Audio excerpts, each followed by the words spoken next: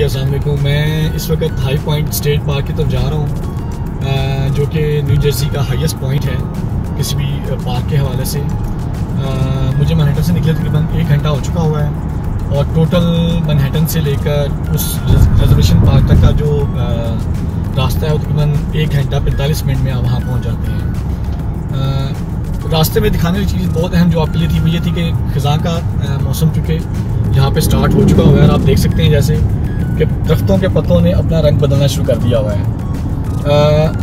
जितना वीक या दस दिन बाद आप देखें देख, देखेंगे कि ये तकरीबन तमाम के तमाम पत्ते पीले या सुर्ख रंग में ढल चुके होंगे और एक बहुत ही खूबसूरत मंजर पेश करते हैं। ऐसा लगता है कि जैसे किसने पेंटिंग की हो। और मैं अभी पार्क में पहुँच कर आपको उस पार्क की मजीद तफसीत से आगाह करूँगा इन शाला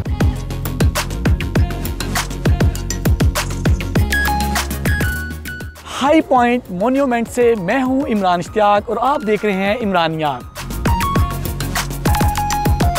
इस वक्त हम हाई पॉइंट स्टेट पार्क में एंटर हो चुके हैं और इसकी जो सबसे पहली अट्रैक्शन है, वो है लेक बारसिया जैसा कि आप देख सकते हैं, ये बहुत खूबसूरत झील है और इसके किनारों पर लगे हुए दरख्तों का कलर आहिस्ता आहिस्ता बदलना शुरू हो गया है।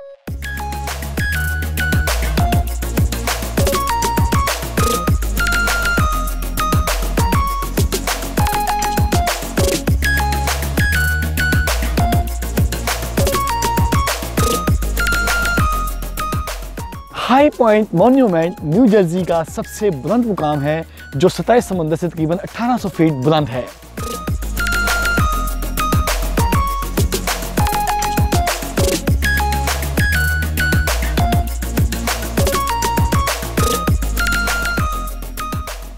इस मोनूमेंट की तमीर का आगाज़ 1928 में किया गया था और इसकी तकमील 1930 में हुई थी।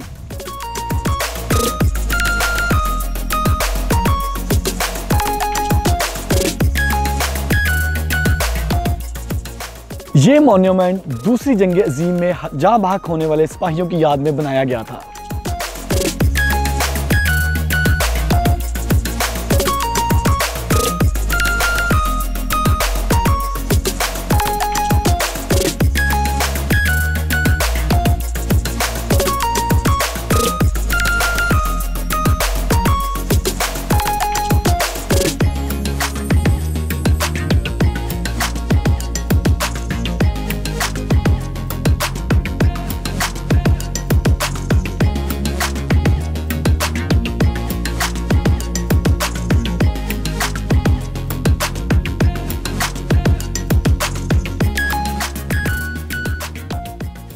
आप इस बुलंद मुकाम से न्यू जर्सी और पेंसिल्वेनिया के पहाड़ी सिलसिले बखूबी देख सकते हैं।